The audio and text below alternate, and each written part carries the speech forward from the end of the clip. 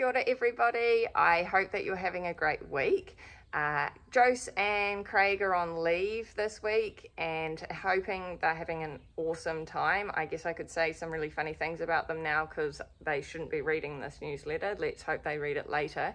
Um, but if you are needing any help, elders support, please reach out uh, to the elders email address, elders at agora.nz, and they will be able to get in contact with you and support you for anything that you need.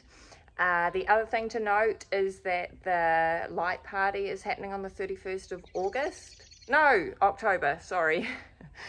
Screw up my own uh, date. So, 31st of October. We are still needing some volunteers. So, if you are available, we would love some help and support. There's heaps of roles that you can do, and I'll find something that makes you feel comfortable. Uh, but we just really want to create a really lovely environment that people can feel safe and play some games and have some fun and just feel the love and warmth of our community uh, that we can offer.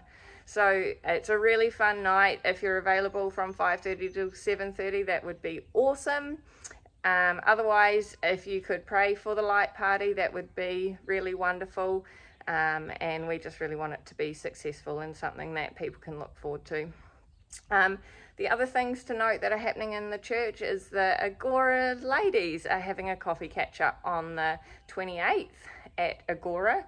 I believe it starts at 10 o'clock uh, to 11.30.